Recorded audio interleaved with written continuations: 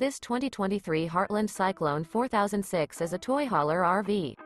It is located in featuring Worth, Texas 76140 and is offered for sale by Explore USA RV Supercenter, featuring Worth, TX. This new Heartland and features Sleep 6.